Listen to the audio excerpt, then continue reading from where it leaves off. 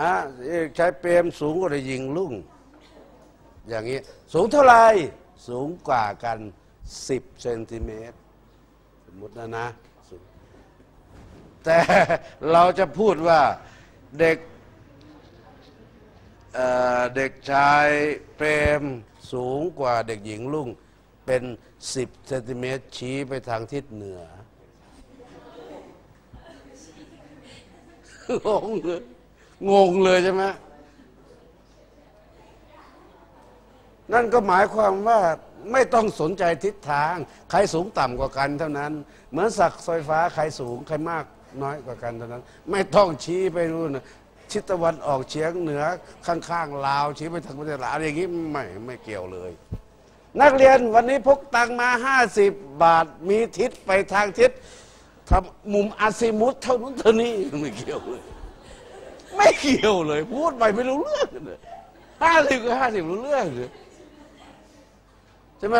นั่นก็หมายว่า ณจุดนี้มีศักไฟฟ้า เท่านี้โวลต์ก็คือเท่านั้นโวลต์ณวันนี้นักเรียนมีตังค์อยู่ห้าสิบบาทก็คือห้าสิบบาท ไม่ต้องบอกทิศไปทางไหน แต่บอกได้ว่าใครมีมากมีน้อยกว่ากัน เหมือนความสูงใครสูงก็ตรงจุด A กับจุด B ใครมากกว่ากัน มากกว่ากัน เพราะเหตุอะไรตรงนั้นเอง แค่นั้น พื้นฐานตรงนี้สำคัญนะเบสิกตรงนี้ ฉะนั้นครูจึงให้ให้ว่ามีคำหนึ่งเกิดขึ้นมาคือความต่างศักย์ประจุไฟฟ้าประจุทดสอบบวก จะเคลื่อนจากตำแหน่งที่ศักย์ไฟฟ้าสูง มายังศักย์ไฟฟ้าต่ำ ในภาพที่เราเขียนคราวที่แล้วนี่คือจุด B มีศักย์ไฟฟ้าสูงกว่าจุด A ครูก็เอา V ศักย์ไฟฟ้าที่ A ก็คือ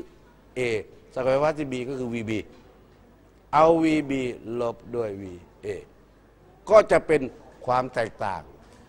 เอ่อเหมือนเด็กชายเปรมกับเด็กหญิงลุ่ง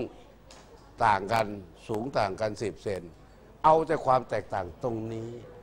ว่าใครมากใครน้อยกว่ากัน เท่านั้นเองครับฉะนั้นวันนี้เราเริ่มตรงนี้เลยครับฉะนั้นงานมันจึงเกิดมาเป็นลักษณะของประจุคูณความต่างศักย์ผลต่างระหว่างความต่างศักย์และเราจึงกล่าวเป็นภาษาพูด เป็นคำพูดออกมาได้ว่า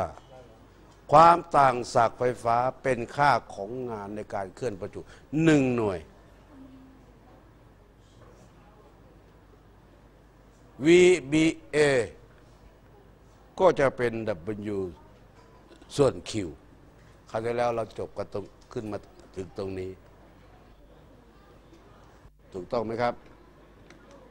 คราวนี้ตรงนี้นะว่าสักไฟฟ้านี่มันไม่เกี่ยวกับพาร์ท เส้นทางเป็นยังไง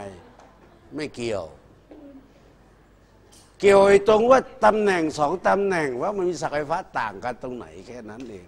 คุณจะเคลื่อนประจุไฟฟ้าบวกคิวจากจุด A ไปหาจุด B ให้ดึงมันลากมันไปไปถึงปัตตานี แล้วค่อยเข้ามาป่าละอู แล้วค่อยมาที่หัวหิน ไม่เกี่ยว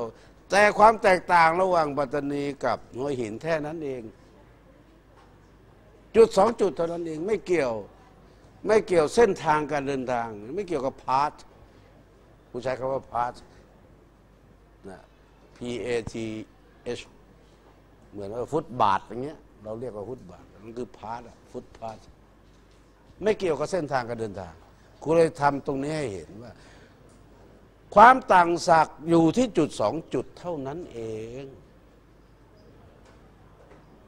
แต่ว่าเขาจะไปทางไหนเป็นยังไงยังไงไม่เกี่ยว เหมือนเปรียบเทียบเหมือนอการกระจัด displacement ระหว่างระยะห่างระหว่างจุดปลายกับจุดต้น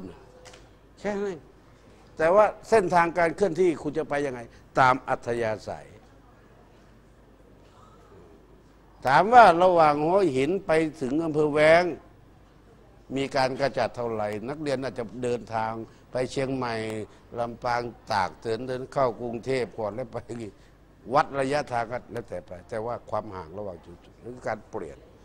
เปลี่ยนตำแหน่งเท่านั้นเอง ไม่ไม่ต้อง ความต่างศักก์ก็เหมือนกันว่า วัดแต่ว่าศักดิ์ไฟฟ้าณจุดใดกับจุดใดแค่นั้นเองคุณจะออกแรงไปยังไงให้มันเดินทางไปยังไงทำอัธยาศัย แต่จุดสองจุดมีศักดิ์ไฟฟ้าต่างกันที่จุดสองจุด เท่านั้นเองจะมาไว้ตรงนี้หลักการนี่คือหลักความเป็นจริงแสดงว่าศักย์ไฟฟ้านี่เป็นปริมาณสเกลาร์สเกลาร์ฮะไม่ใช่เวกเตอร์ไม่สนใจเรื่องการเดินทาง นักเรียนครับ